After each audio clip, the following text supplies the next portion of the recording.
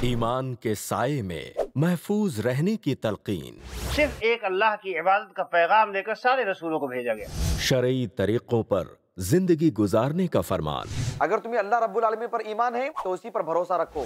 بد آمالیوں سے دور رہنے کی ہدایت۔ ڈرو اپنے رب سے تقوی اختیار کرو۔ کیجیے ہر وہ کام جس سے راضی ہو پروردگار۔ قرآن کریم ایک ایسی رسی ہے اگر ہم اس کو مضبوطی سے تھام لیں گے تو اللہ رب العالمین ہمیں جنت میں لے جائے گا۔ حق کی پکار۔ جانیے دونوں جہاں کی کامیابی کے لیے کیوں شرط ہے ایک اللہ پر اعتبار۔ ہر پیر رات ساڑھے نو بجے۔ صرف آئی پلس ٹی وی پر بہتر زندگی کے لیے۔